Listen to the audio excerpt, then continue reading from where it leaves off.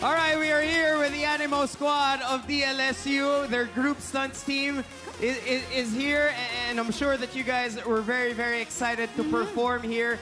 And we also have a strong La Salle contingent here with you guys Yes. cheering you on after the main performance and after uh, the group stunts performance I know, well. grabe. You really entertained us earlier on with that hairspray performance.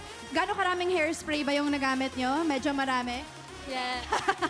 yes, literally, figuratively, but you know, kidding aside, how much does it mean to your squad and to you guys representing the De La Salle community? It's an honor to represent the Lasallian community, especially that they're always there supporting us. And, uh, you know, battling through in- injury and all. Exactly. The Animo squad is still putting on a show. Guys, congratulations on an, an incredible day for your team and your squad.